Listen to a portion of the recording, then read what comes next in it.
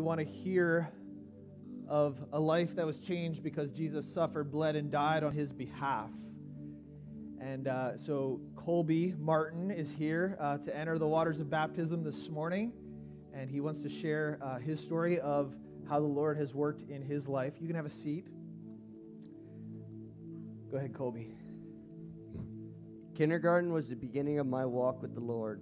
A teacher at my school at Calvary Independent Baptist Church taught us about the Lord in, in the lessons.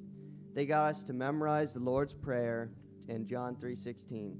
For God so loved the world, he gave his only begotten Son, that whosoever believeth in him shall not perish but have eternal life. John 3:16. This was the beginning of my faith.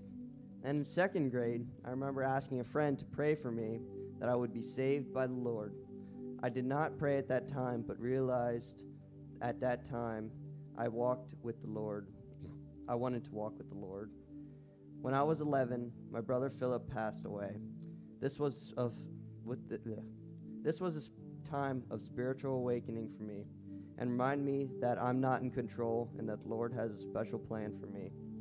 After that, my walk with the Lord slowed down, stalled out a few times, but I kept wanting to follow him. Lately, I've been thinking that I need to be more serious about my relationship with the Lord, Jesus. And I had a conversation with Pastor Ben that helped me push me in that direction. I believe that Jesus died on the cross for my sins and he rose again. He was the only one that could die for my sins because we can't do anything about our sins. Our sins deserve death, and Jesus died with our sins in our place. His death left the old me behind, and his resurrection gave me a whole new life. Without Jesus, I was very focused on the Lord. I wasn't very focused on the Lord. I was more focused on the world with Jesus. I cannot be more focused on him. I can be more focused on him and less on worldly possessions and desires. I want him to be my focus in life. I believe the church shows me the right way and helps me grow. It's a body of believers. I want to be a member of the body and help out as much as I can. I want to leave my old self behind and live new life in Jesus. We just want to remember, uh, as David talked about, a, a wedding, right?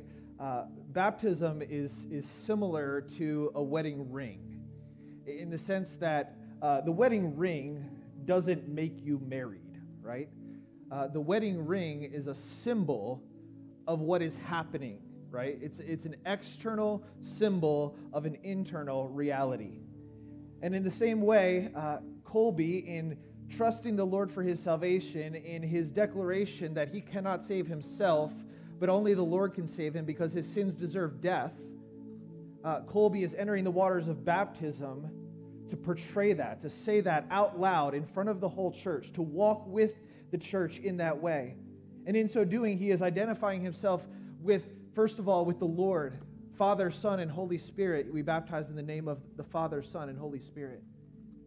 And then he's identifying himself with the Lord's people, the church, saying that he's committing to not, not just enter the waters of baptism, but to a whole life of discipleship with God's people. And so, what is symbolized here is Colby goes under the water is that he has died with Christ. He is buried with him. And therefore, he is raised to resurrection life with him, both now and then in, eternal life. And it's not the baptism that changes that, it's his faith in the Lord Jesus Christ that changes that. And so, this is a declaration of faith this morning. And we get to witness it, church. We get to witness it and remember our own salvation in Christ. And so, Colby, bring your knees up. I don't bend you back. There you go. Um, in entering the waters of baptism, are you saying that you believe that Jesus Christ is your only Savior and Lord and that his death provided the salvation for you? Yes. And are you saying that you are committing to a life of discipleship with the help of the local church. Yes. And it is my pleasure and joy to baptize you in the name of the Father, Son, and Holy Spirit.